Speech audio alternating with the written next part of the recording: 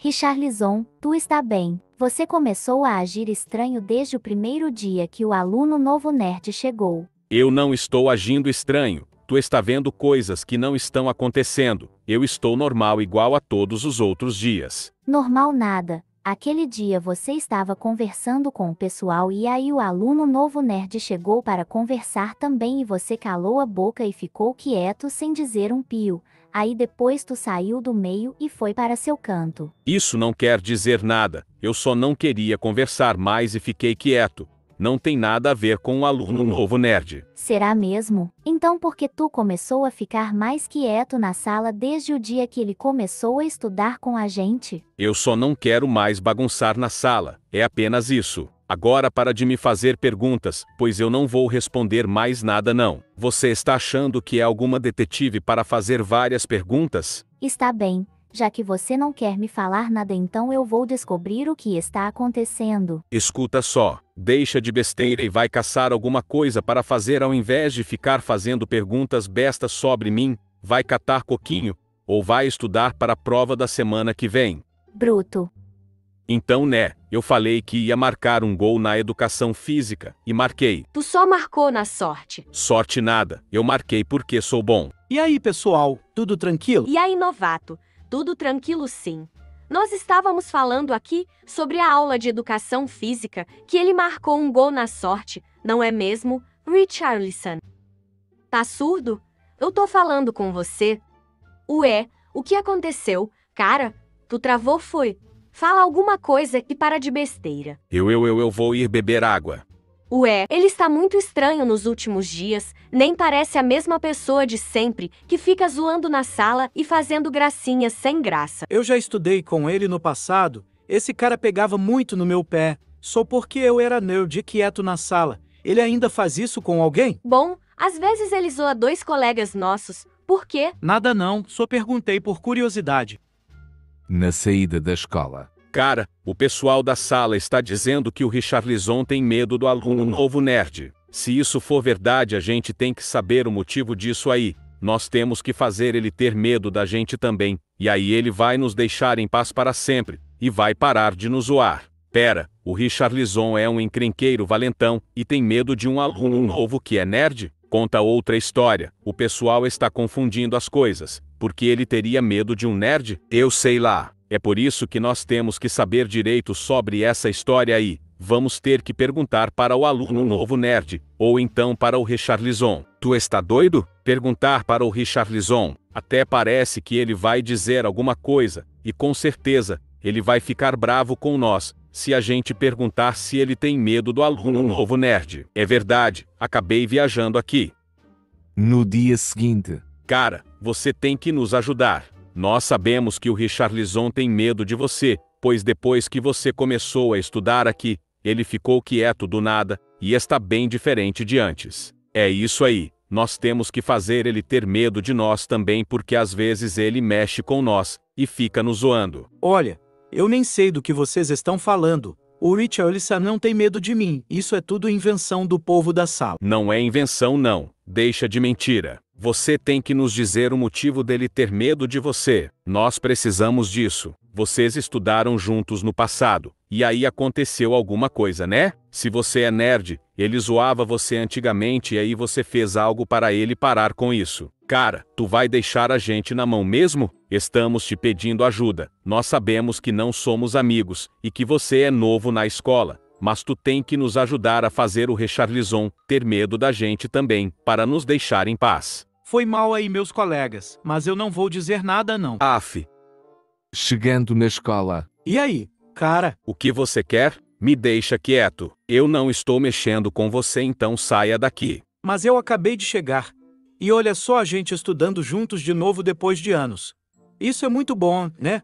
Agora você pode fazer as minhas atividades da escola e os trabalhos também. Mas para que você quer que eu faça isso? Você que é nerd e não eu. Você sabe responder tudo certo e eu não. Não faz sentido eu ter que fazer essas coisas para você. Faz sentido sim, eu não quero saber se você sabe responder ou não.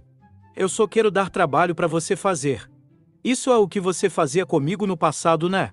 Então agora, eu tô fazendo a mesma coisa com você. Ão quem, ão quem, eu vou fazer suas atividades e os trabalhos da sala. É isso aí, tem que fazer mesmo.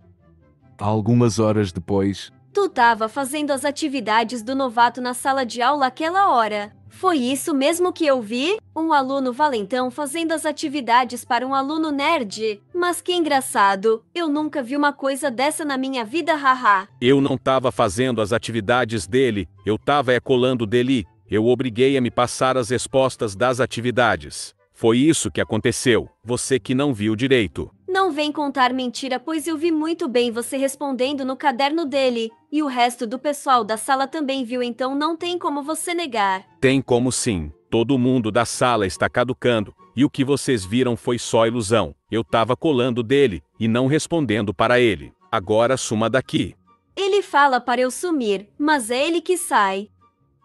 Cara, faz nossas atividades também. Como é? Calma aí. Ele só está brincando com você. Brincando comigo? Está achando que eu sou quem para ficar brincando comigo? E o que vocês querem comigo? Só vieram para me zoar? Não, não. Nós não viemos te zoar. Mas bem que nós queríamos. O quê? Olha, nós só queremos saber o motivo de você estar com medo do aluno novo. Acho que todo mundo da sala quer saber disso. Nós já perguntamos isso para ele, mas ele não quis dizer. E vocês dois pensaram que seria uma boa ideia vir perguntar isso para mim, né? Se nem o cara quis dizer o motivo, vocês acham que eu vou dizer? E lá, agora ele se entregou. Ele estava falando para o pessoal que não estava com medo do aluno novo. Mas agora falando isso aí, ele deixou bem claro que está com medo sim. Pois é, depois disso e depois do que vimos, não adianta ele negar mais. Vocês realmente querem saber o motivo? Queremos. Eu não estou nem aí. Fala sério.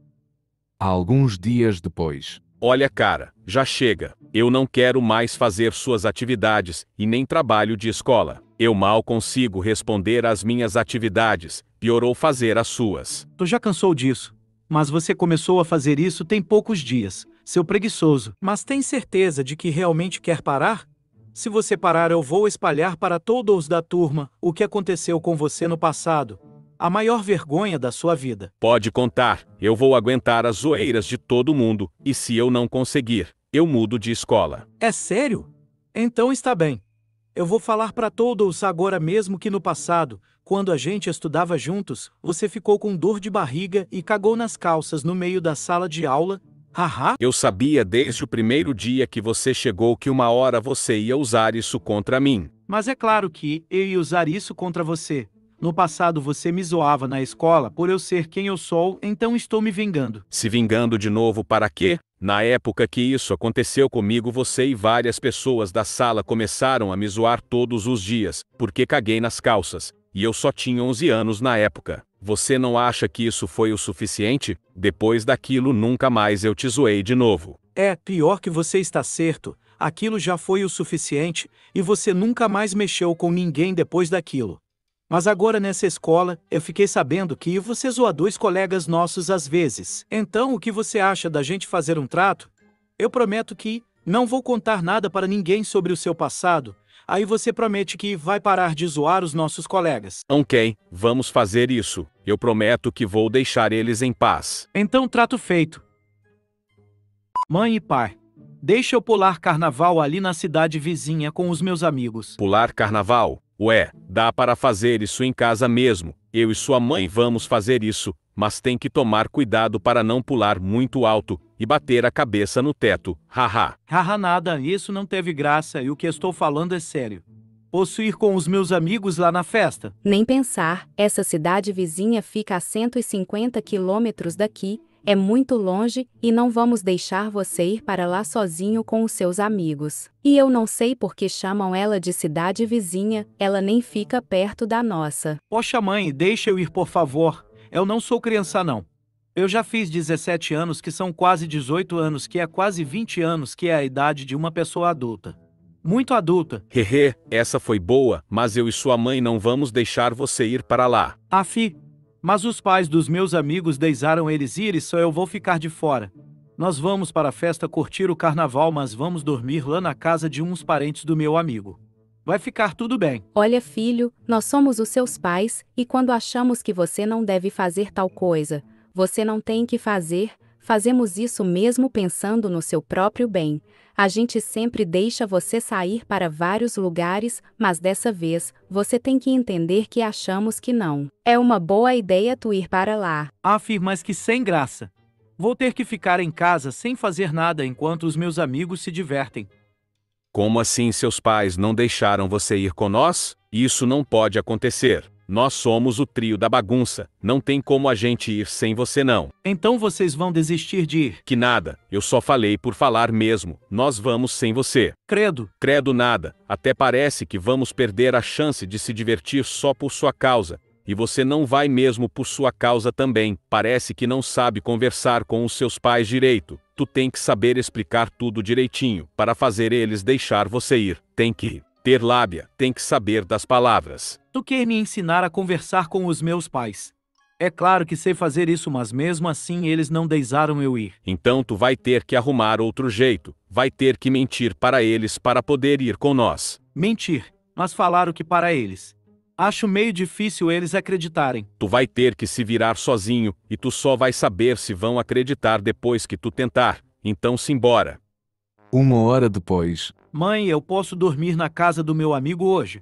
É que ele comprou um PlayStation 5 e vamos passar a noite toda jogando. Mas de qual amigo você está falando? Você tinha falado para nós que todos os seus amigos vão para a cidade lá curtir o carnaval. Eu disse que todos vão. Eita. Então acabei falando errado, pois não é todos que vão ir para lá não. E eu vou dormir na casa do meu amigo Pinóquio. Ele que ganhou um PlayStation 5 dos pais dele. Pinóquio. Mas que nome estranho. Parece o nome daquele menino de madeira dos contos de fadas. Parece mesmo, mas e aí, vai deixar ou não? Olha, Clayton, essa sua história está muito estranha. A gente não deixa você ir para a festa lá na outra cidade, e aí agora tu aparece com essa ideia de dormir na casa de um amigo só para ficar jogando. Sei não, hein? A senhora está achando que estou mentindo? Poxa, mãe. Eu nunca faria uma coisa como essa com você, a senhora sabe que não. Quando foi que eu menti para você e o papai? Nem sei. Sabe sim, mãe, fala aí, eu nunca menti para vocês. É, acho que você nunca mentiu mesmo não. Então nesse eu nunca menti antes porque eu mentiria agora. Pô, faz sentido. Ok, eu vou acreditar e confiar em você, mas espero que eu não me arrependa de ter feito isso. A senhora não vai. Assunto resolvido, eu vou poder ir na festa com vocês.